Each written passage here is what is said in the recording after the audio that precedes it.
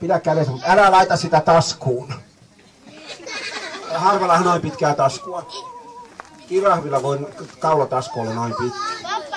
Niin, nimittäin seuraavana otetaan nämä valtion viralliset tarkistusvälineet. Tarvitaan tällainen kaksi isoisaa sukkapuikkoa ja tällainen turvaputki. Hei, vaihdetaanpas. Ota ne sukkapuikot käteen oikein ja katso, että niissä ei ole peiliä, välipohjaa eikä salaluukkuja.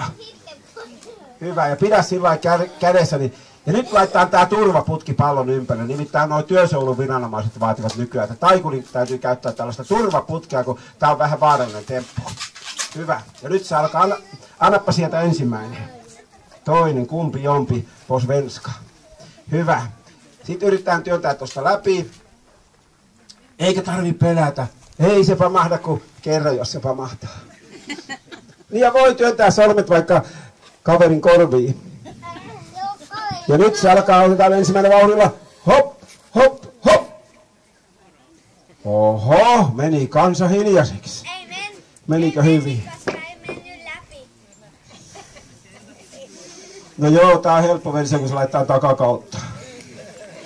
Nyt keskeltä noin mitten ja nyt se sitten alkaa. Oho, nyt isoisa sukkapuikkoa. Taipu. Onneksi podasi viime vuonna viisi minuuttia, niin jaksoin työntää. Hyvä, annappa se toinen sieltä.